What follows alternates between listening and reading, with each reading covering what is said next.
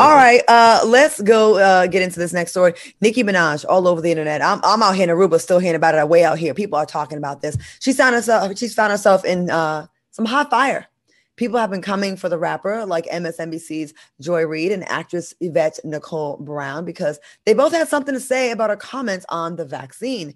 It started with Nicki explaining her missed attendance from the VMAs and the Met Gala. She said that it was because you had to be vaccinated to attend both and that she didn't want to risk her child's health by being around other people. She explained that she would get the vaccine after she personally did more research, which she said she was doing, but she encouraged her fans to continue to wear their masks, but Joy Reid was not here for Nicki's comments.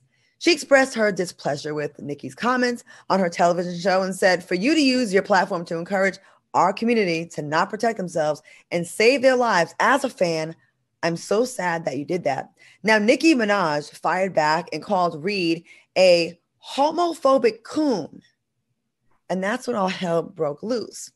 Was Joy out of line for calling Nicki out on live TV? And I also think the question needs to be asked was Nicki Minaj out of line for calling Joy Reid a coon, which I've never seen mm. coon behavior from Joy Reid. Nicki was definitely reaching and out of line with the homophobic coon. I don't know where she was going with that. And I feel like what she was doing was trying to play on trigger words. Oh, if I throw homophobic in there, people will be mad where I stand with Joy as it relates to her response to Nicki, you know, I'm kind of neutral about it, right? Because Nicki did not say, don't go get the vaccine. She didn't say, oh, the vaccine is lethal or, or, or, or, or illegal. I'm not getting it. She said, I don't know where I'm at at it. Now, I am a vaxer. I am pro vax. But in being pro vax and in being in the communications field, I'm also pro people being able to speak their mind and speak however they feel this vaccine issue has been so divisive, but I don't find anything wrong with what Nicki said. Nicki said that she didn't want to do it for her. She does have a 22 million people, and a lot of people will follow her. And I get Joy Reid's point, but to be honest, I'm rarely double mind. I don't know where I am on this. I don't think Nicki committed a foul, and I kind of think Joy kind of overshot her her her her anger. Okay, Al. It, this was this is very interesting to me. This is like really really interesting to me on two levels. On the first level, um, I haven't seen Nicki this um, involved or on Twitter in a long, long time. I mean, I, I, just haven't seen her this involved on Twitter in a long, long time.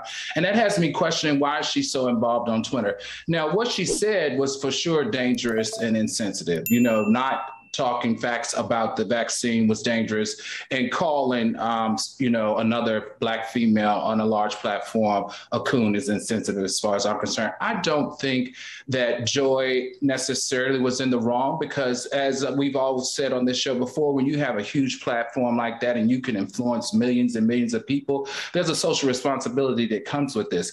But let me pose this: I'm thinking, and this just could be my conspiracy theory. I'm thinking because we have not seen Nicki on Twitter in a long time that the reason why she's on Twitter now is because of the news around her husband being found guilty about uh, the sex crime and, and being a sex offender not registering. And she's using this opportunity to divert the attention off of him and onto her. That's just me.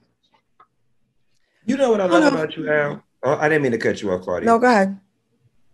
I get so emotionally involved in the stories and I just spit from the gut, but you just bring this whole other intellectual perspective. And now that I thought about it, you're absolutely right. Her sure. husband is like America's most wanted sex offender, failed to register, social media eating him up. And what better way to divert all that energy, energy and attention than that you is smart. You is kind. She's you is uncircumcised, beautiful. well, in addition, Nicki also told fans that she's been in Twitter jail since she's expressing her concerns over the vaccine and that she plans to no longer use the platform. We'll see about that. Now, also, actress Yvette Nicole Brown defended Joy Reid in a post where she wrote, Sis, she wasn't coming for you. She's a real one who fights for us daily and was only trying to remind you that whenever you speak, 22 million people listen. A huge platform like yours carries great responsibility. The mm-hmm. Barbs attempted to come for the actress, which led to her, her addressing them in an Instagram post, and she made sure to tag Nicki. Uh, and she tweeted, pinning this tweet to help the trolls. I don't care if you call me zealous, old, fat, or ugly, or on any given day. I may be all those things. I do care what we have. I do care that we have a country with opportunities for all, safe infrastructure, and a leader who doesn't cage babies or grab vaginas. What are your thoughts on the trolls now coming for Yvette Nicole Brown? I have a question for the trolls and I have a question for the anti vaxxers, right? So I have a friend, Dr. Shantira Johnson. I've known her since high school, went to college, and she said it's medicine's fault that Black people are as skeptical as they are about medicine. And I get that. She blames it 100% on medicine, and it is. We've got this history, Tuskegee, this, that, and the 3rd mm-hmm. My only question is for everybody that throws Tuskegee experiment, that was specifically designed and engineered for Black men they're giving the vaccine to everybody, so that kills the racial issue. Then there's this conspiracy theory, but in order for it to be a conspiracy, it would have to be a global conspiracy. Korea and America don't even get along. Half of the places in, in the globe don't even like America. That's number two. Number three, do you know how many people it would require to be silent in order for this to be a global conspiracy? And number four, I want you to finish the thought. Okay, this is a conspiracy theory. This is some type of sick medicine they're putting in us. Finish the thought. Sick medicine to do what? What? Here is what I know. In 30 years from now, if I develop cancer because I got the COVID vaccine, I know that that's better than me dying in 30 days. So, you know what? I'll take the 30 years of cancer versus the 30 years of death. What? Finish the thought for me. Like, finish the thought. It's a conspiracy. conspiracy to do what globally? And I'll yield my time to Al Reynolds.